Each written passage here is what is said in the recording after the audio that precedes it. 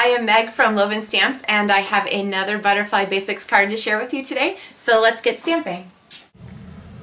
All right, so I'll pull out my project packet. Make sure you set aside those cute little Bermuda sequin trim. And we're going to start by folding our Island Indigo cardstock in half.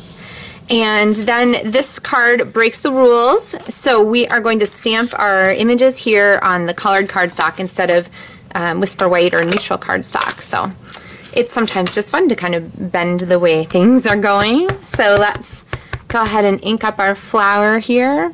And the stamp set we're using is, of course, the Butterfly Basics stamp set. Um, the one that comes with your um, Stamps and Mail Club kit is photopolymer. So don't be panicking if yours looks a little different from mine.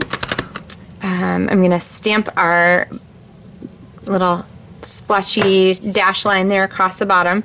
And actually that gives us our background. So now we're all set to layer this here onto our layer. Oh wait, don't do that yet. What you want to do first to make it easier on yourself is go ahead and put some adhesive on your doily.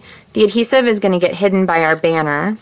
But I'm going to go ahead and press that down and then before I stick it on, I'm going to flip it over the back so I can see what I'm doing and I'm just going to clip away the excess doily. So their doilies come 24 to a package. This is a great way to uh, make it like you're getting 48 cards out of a package. So you can use little fractions of the doilies instead of full things. Right, smush on the back side. All right, and then we're going to go ahead and uh, mount this here on our cardstock with Stampin' Dimensionals. There they are. This is a nice quick card to pull out.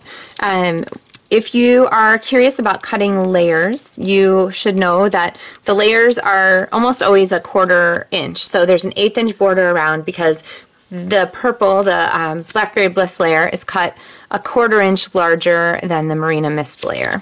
So if you're ever in doubt, you can go ahead and do that. I am going to stamp our Sending Wishes Your Way image here on our banner piece, and then I'm going to go ahead and cut a banner end with my scissors. There's lots of different ways you can do that. There's a neat trick where you cut in the middle and so forth um, that I show sometimes on other video tutorials. and then I'm going to attach this with dimensionals too. And if you're like me and you decide that you just want it to be over a little bit more, I'm going to go ahead and I'm going to go ahead and clip off just about a, what is that? A little more than an eighth, a little less than a quarter of an inch. All right, so there is a perfectly reasonable card, but I think it needs a little more. Um, one thing being a butterfly. Now, you would use your butterfly punch to stamp this and then punch it out. But for Stamps the Mail Club, your shapes come pre-punched, which means you don't have to own that cute butterfly. You can add it to your wish list for later. So my favorite thing to do to punch on or stamp on pre-punched shapes is to go ahead and layer stamp down and then put your cardstock on it and then just use a clear block to go ahead and press your um, image down and there you have your stamped butterfly.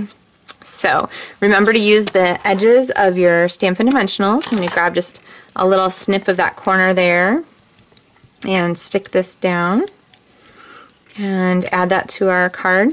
All right, so there's a perfectly nice card also, but really one more thing. Remember that cute Bermuda Bay trim we were using? So what I'm going to do is go ahead and add some trim to our um, piece. So the trim comes like on a long roll, um, but what I like to do with it often is to peel those sequins off. And if you get to the part where they don't want to peel off easily, all you have to do is cut away the remaining threads and then you can get them off. So you can um, apply them however you like. My favorite way is to use um, the multi-purpose adhesive, green lid glue, if you watch my videos.